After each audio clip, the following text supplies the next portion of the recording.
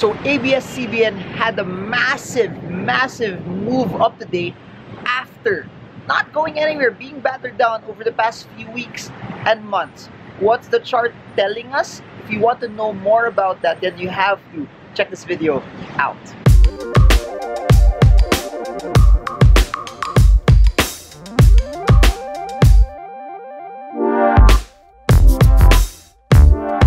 Hi everyone, this is Marvin Germo. If you're new to this channel, please subscribe and smash that bell so you get updated every time I come up with new content about investing, about the stock market, about reaching your goals of financial freedom. So what are you waiting for? Subscribe, hit the bell, like, and be part of the 1% of Filipinos investing, trading the markets with confidence.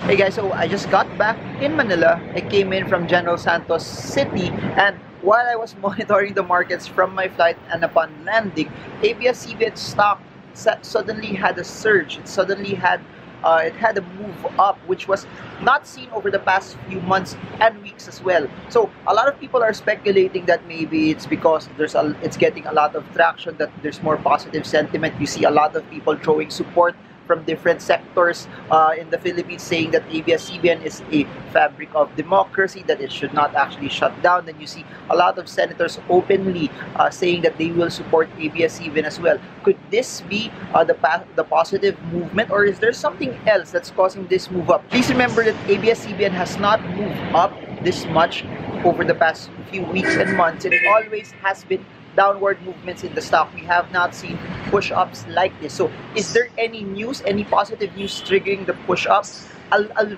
create more videos about that, but this is all about the charts. What's the chart of ABS telling us right now? Were there significant resistances that were broken brought about this move?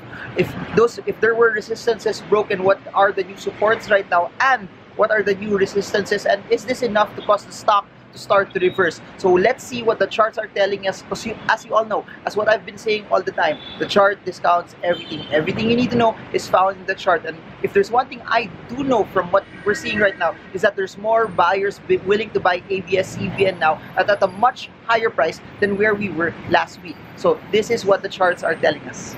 Alright guys, so here's a chart of ABS CBN from 2013 to present day. And as you all know, uh, this was its large upward move that started from 2014 all the way February 2014 all the way to this breakage point. As you can see here uh, you see a break from this upward move uh, somewhere around this, the end of December 2015 to the start of January 2016 this upward move was uh, around 140% for those who are just watching I'm giving you a backdrop on how the downtrend actually uh, came to fruition as well. So from that time on, you you saw this break, and as you all know, when a stock is finished from an uptrend, a new trend will form. And if I'll try to put a support here and a resistance here, you already see that from this area, the support started to break as well, and it reiterated itself as a resistance. Hence, from that time, we we saw the we saw the stock move and have a massive, massive, massive, massive, massive downtrend. So that started December 2015 all the way here to September 2019. That being said, if I'll overlay the 200-day moving average here, uh, you can see it while this is all happening, the stock was relatively bearish. Now, that being said, uh, somewhere around here, uh, August 2019, we saw ABS-CBN start to get out already uh, of this massive downtrend. However, even as it started to get out, it really didn't show any reversal signals yet. It didn't show us any evidence that the stock was starting to reverse and start to move up already. So that being said, it now started to move sideways. From this breakage point here, we saw the PSEI start to move sideways with a resistance at 22.3 and a support level at 16.7 which got broken uh, at the end of the year and hit 14.8 pesos per share. So today, let's fast forward.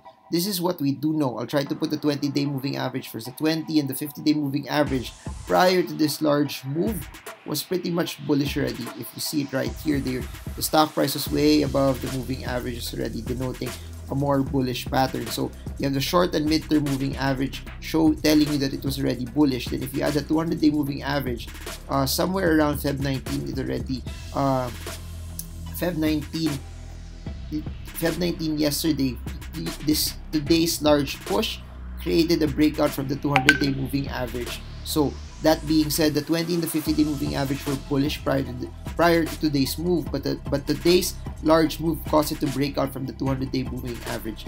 Also, if you try to figure it out, you'll see that we all know we all know that there's a support from the 16.7 level. That being said, this support level um, showed itself valid, and as it started to hold at that level, that also denoted to us a large buy signal. Now, that area 16.7 post a target price of 22.3 22.4 that gave us a 34.5% gain.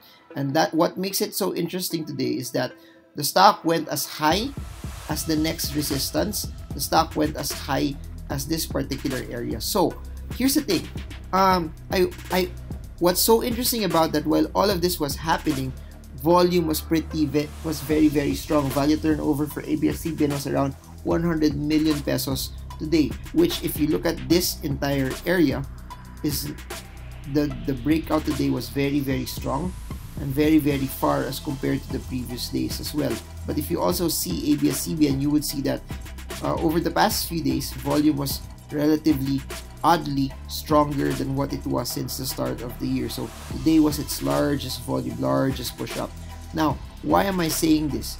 If ABS-CBN from a tech perspective uh, hits this resistance and fails to break out, you may expect a possible retracement. And if I'll try to depict where a possible support level is, you could peg this as a support level. You can also peg this as the next support level. However, if ABS-CBN starts to break out, the next possible movement for ABS-CBN could possibly go here. Break out from this 22.3 level. It will now attack the next resistance, which is at 24.7 if it breaks out from 24.7 then we have um, we now see, we could now possibly say that ABS-CBN is out from this sideways market which started July 2018 so if you notice it also ABS-CBN has never gone up above the 24.7 level since June July 2018 it's been down it's been down it's been consolidating over or for more than two years already. Let's see over the next few days couple of resistances you need to remember. Number one is the resistance at the 22.3 level. Number two is a 24.7 resistance level. So these two levels are the levels that you should watch out for.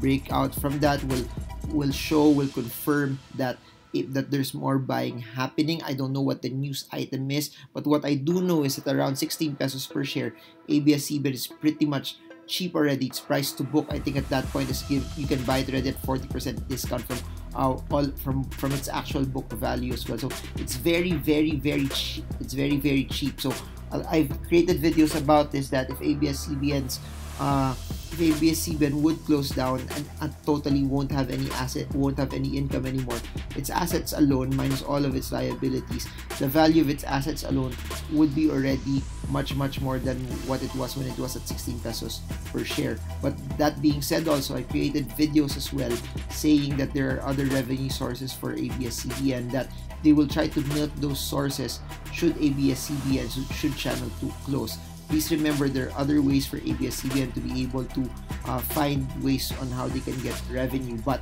I do not know what is this specific item on why are people buying massively. Uh, there, there might be some other news that could be disclosed over the next few days and people have gotten wind of it people are trying to speculate on what it could be but what i do know is you know my style i don't try to guess i don't try to speculate i don't try to forecast what this news will be. Is it positive or is it negative? What I do know is this. People are buying.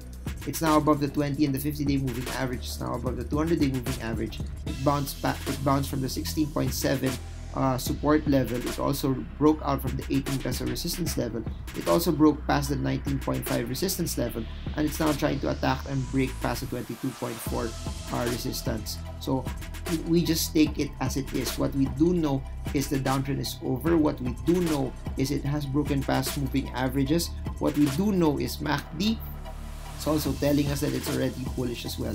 So key things that you need to watch out for, all of this will be valid as long as ABS-CBN stays above 18 pesos per share. So please remember this, there might be some sell-offs, there might be some retracements because we can expect people to also take profits. You can also expect people that made money to also sell, especially now that ABS-CBN pretty much is sentiment driven. Uh, but as long as the 18 peso level will hold, if ABS-CBN stays above the 18 peso level, then it has a shot to reverse and it has a shot to go higher as well. So comment below what do you think is happening? What do you think is the cause of this? Is there anything exciting news-wise that's causing people to buy ABS-CBN at a much higher price. So I hope you guys got a lot from all of this. What do you think? What are your comments on this? Are you buying ABS-CBN because of this information? Or are you still staying in the sidelines? Are you still gonna avoid the stock? Are you not gonna come in, uh, come in yet? Are you gonna wait until you see what the news is actually telling us and why the stock is actually moving up? What's your narrative? Do you think this is positive for ABS-CBN? Comment if you're learning. Comment also ABS if you will also buy it as well. So I guess that's it. If you want to know more about all of these charts, all of this technical analysis that I'm doing, you can click the link below and I have different sessions, different classroom trainings all around the world from Manila, Singapore, Doha, London, Sydney, Auckland, New Zealand, uh, Tokyo, and Dubai as well. All of them are in the link below or you can join us for online classes they're all also in the links below. We have Chinkee Tan and Chauncey joining me part of those online courses. And for those who want to grab a copy of my books, links are down below as well. So I guess that's it for now. I hope this video gave you enough insight also for you to be able to trade ABS-CBN with confidence so that you do not base everything on emotion, that everything is based on what the charts, what the numbers, what history is telling us, and that's how you can win, and that's how you can trade the markets with confidence. That you avoid hype, you avoid speculation, you avoid listening to others. That the only voice that you need to listen to is yourself based on your strategy and based on your technique. So this is Marvin Germo back in GGC. I hope this video helps you trade well, trade strong, trade smart. See you all again soon, guys, and God bless you all.